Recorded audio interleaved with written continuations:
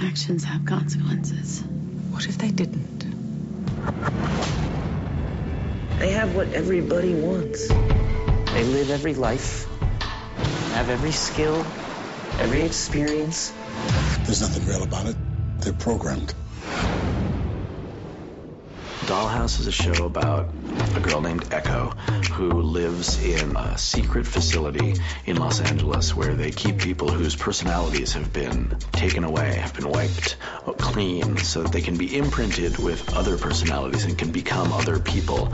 And they are hired out for particular jobs as these other people.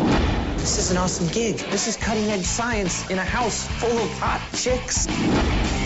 For me, it's kind of a perfect fit to be able to come to work and have a personality playground like that. I'm not nobody. The premise of the show came about, you know, because I was talking with Eliza about the limited opportunities for an ingenue and how talented and versatile I think she is.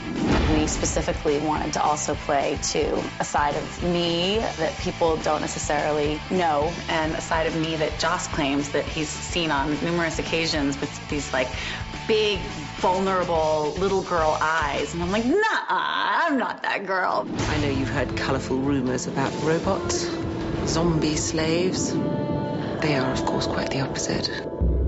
An active is the truest soul among us.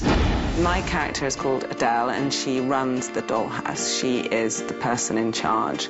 There is definitely a sense that within the dollhouse she is considered formidable and to be feared. Nothing is what it appears to be.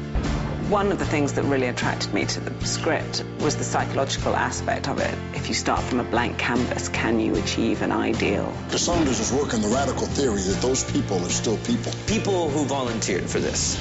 So we're told. I'm sort of the, the, the puppeteer.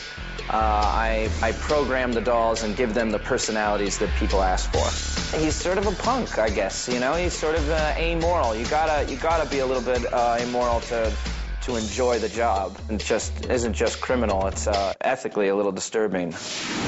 Now that we've seen just how much depth and excitement and staggering talent and electricity the actors are bringing, we're terrified that we're just going to have too many ideas. That's something you should be terrified of. Did I fall asleep? For a little while.